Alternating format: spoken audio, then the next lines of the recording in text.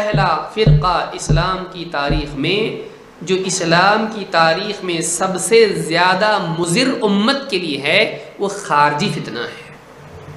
انشاءاللہ ایک کورس ہمارا اس پر بھی ہوگا۔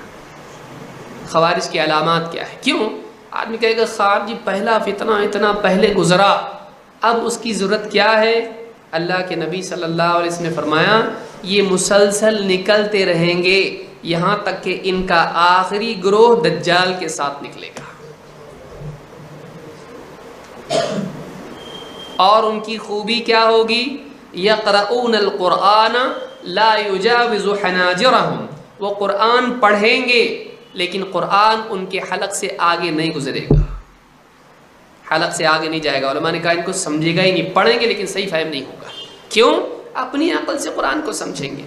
لہٰذا ہم کیا کر رہے ہیں ابھی؟ بھائی سلف۔ صحابہ کے دور میں خوارج نے پہلا مسئلہ کیا ہوا ہے؟ قرآن ہی کی بنیاد پر حضرت علی کو کافر قرار دیا۔ تو یہ صحابہ کی آپ نے کہا میرے بعد ہو گئے اختلاف امت میں آئے گا۔ اور ایک بڑا طبقہ ان کے ساتھ خارجیوں کے ہو گیا اور وہ یہ سمجھتے تھے کہ وہ حق پر ہیں۔ اور صحابہ گمراہ ہیں۔ علی رضی اللہ تعالیٰ جن کے بارے میں اللہ کے نبی صلی اللہ علیہ وسلم نے کہا کہ میری، میرا معاملہ، میری مناسبت، میرا تعلق تم سے ایسا ہے جیسا موسیٰ علیہ السلام کا حضرت ہارون سے تھا۔ میری نسبت ایسی ہے۔ یعنی اتنا اعلیٰ مقام کہ میرے بعد جانشین سنبھالنے والا امت کو کون ہے؟ علی بن ابی طالب۔ لیکن کیسا؟ وقتی، ابدی نہیں۔ دو طرح کا جانشین ہوگا۔ ایک وقتی طور پر، ایک ہوگا وفات کے بعد۔ وفات کے بعد ابو بکر ہے کیونکہ موسیٰ علیہ السلام، ہارون علیہ السلام کو بنا کے گئے اپنی وفات کے حساب سے یا زندگی میں، یاد رکھیں اس کو، شیعہ اس کو استدلال بناتے ہیں۔ اس لیے سلف کا فہم ضروری ہے۔ شیعہ یہی دلیل پکڑتے ہیں۔ دیکھو، نبی صلی اللہ علیہ وسلم نے کہا کہ میرے بعد میری نسبت جو ہے تم سے ایسی ہے جیسے موسیٰ علیہ السلام کی نسبت حضرت ہارون سے تھی۔ تو معلوم ہوا کہ جانشین نبی صلی اللہ علیہ وسلم کا کون ہونا چاہیے؟ علی بن ابی طالب۔ ہم کہا ٹھیک ہے، لیکن کیا حضرت موسیٰ واپس آئے کہ نہیں آئے؟ واپس آئے تو واپسی کے اعتبار سے جانشین، اسی لیے آپ صلی اللہ علیہ وسلم سفر میں جا رہے تھے، تب جا کے جانشین بنایا تھا۔ واپس آئے نا، لیکن جو سفر آخرت والا، جس سے واپس نہیں آئے، اس میں کس کو بنا کے گئے اپنی جگہ پر نماز پڑھنے والا؟ ابو بکر صدیق رضی اللہ تعالیٰ یہ فہم اگر نہیں ہوگا، آدمی گمراہ ہو تو سلف کا فہم خارجی کیوں؟ آپ نے فرمایا یہ مسلسل نکلتے رہیں گے۔ لہذا آج بھی یہ خطرہ امت کے لیے باقی ہے۔ اور علماء نے کہا کہ دوسرے گمراہ فرقوں سے زیادہ امت کے لیے مضر اور اشد اور زیادہ اشر فتنہ خارجیوں کا ہے۔ آپ صلی اللہ علیہ وسلم نے کسی کے بارے میں نہیں کہا، اگر میں رہا تو ان کو قوم عاد کی طرح قتل کروں گا۔ کسی کے بارے میں نہیں کہا آپ نے۔ میں قتل کروں گا۔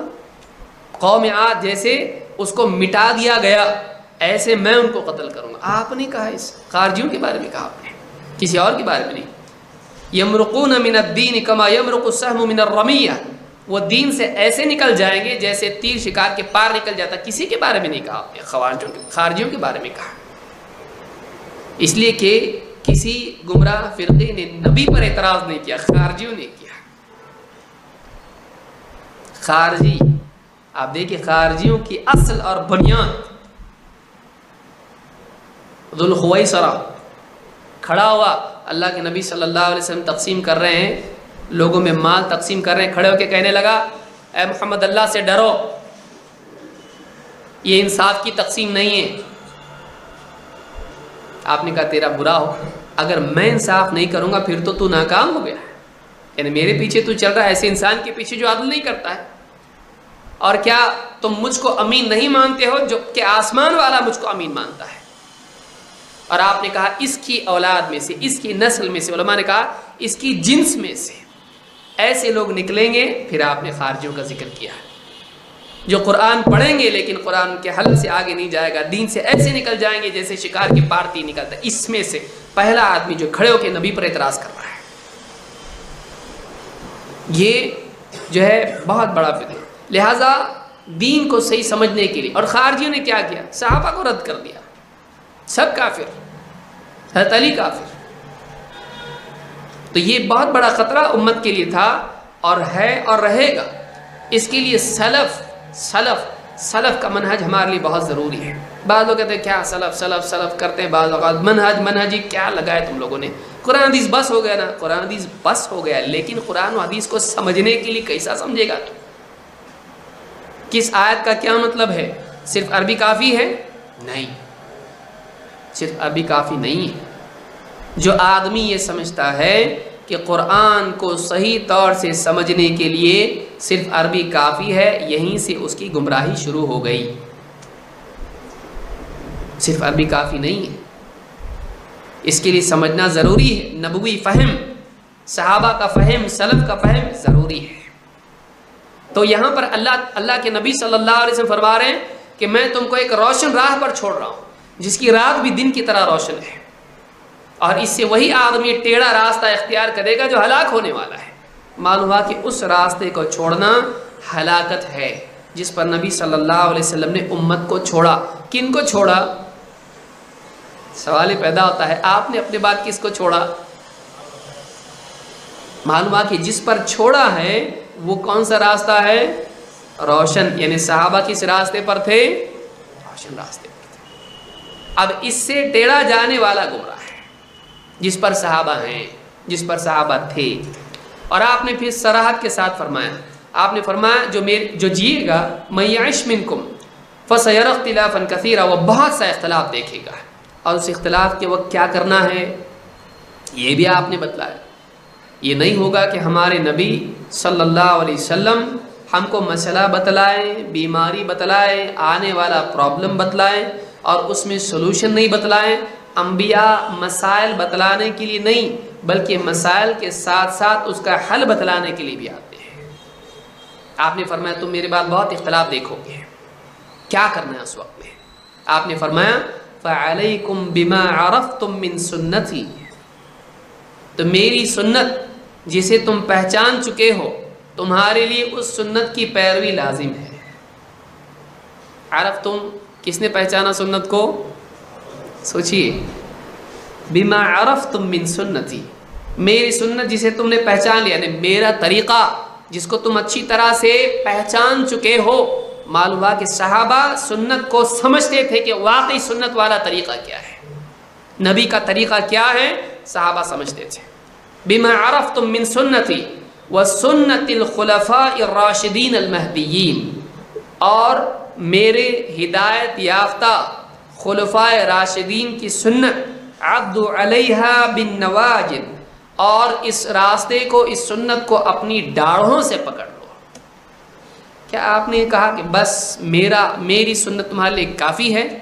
میرا طریقہ کافی ہے؟ کیا کافی نہیں تھا؟ لیکن آپ نے کیا جوڑا؟ اپنے ساتھ آپ نے صحابہ کو جوڑا۔ کوئی آدمی کہہ سکتا قرآن حدیث بس ہے نا؟ یہ آدمی جو کہتا ہے قرآن اور حدیث، بس، یہ آدمی حدیث کو بھی نہیں سمجھا، قرآن کو بھی نہیں سمجھا۔ کیونکہ حدیث میں کیا بتایا جا رہا ہے؟ تمہارے لیے میری سنت اور میرے ہدایت یافتہ خلفۂ راشدین کی سنت۔ بما عرفتم من سنتی، اور وہ سنت الخلفاء، آپ نے الگ کر کے بیان کیا۔ اس کو میری سنت اور میرے خلفۂ راشدین کی سنت۔ ایک ساتھ بھی جمع کر سکتے تھے؟ نہیں۔ الگ الگ بیان کیا۔ وہ سنت الخلفاء الراشدین المہدیین عبد علیہ بن نواجد کہا، اپنی ڈاڑھوں سے پکڑ لو۔ دانتوں سے نہیں کہا ڈاڑھوں سے کہا۔ علماء نے کہا، کوئی بھی چیز مضبوطی سے پکڑ جاتی ہے تو ڈاڑھ سے، دانت سے نہیں۔ کھینچیں گے، ٹوٹ جاتا۔ لیکن ڈاڑھ سے مضبوطی سے پکڑا جاتا ہے۔ قوت یہاں ہوتی، یہاں نہیں۔ قوت یہاں نہیں ہوتی ہے یہاں ہوتی ڈاڑھوں میں ہوتی ہے دانتوں میں نہیں۔ مراد یہ ہے کہ اس کو بہت مضبوطی سے تھامے رہو۔ تو اپنے بارے میں کہا، میری سنت اور میرے، میرا طریقہ اور میرے خلفۂ راشدین کا۔ اس حدیث کو امام احمد ابن ماجہ اور حاکم نے روایت کیا۔